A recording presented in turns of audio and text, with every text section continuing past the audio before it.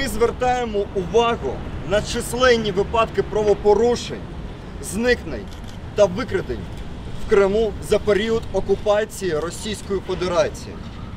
І нагадуємо про міжнародну заборону викрадень і зобов'язання Російської Федерації вжити всі можливі заходи до пошуку та розслідування злочинів щодо наших громадян.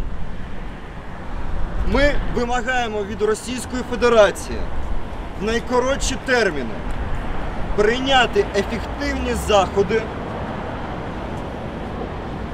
для розслідування та знайдення всіх зниклих та викрадених. Ці зникнення вони є безперечно насильницькими. Вони свідчать про е, репресії російської влади.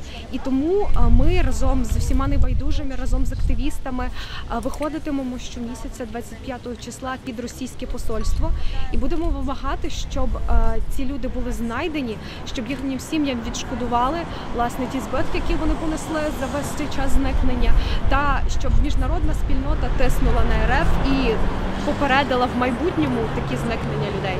Окрім акцій, ми розсилаємо листи і ми ще працюємо з нашими міжнародними партнерами.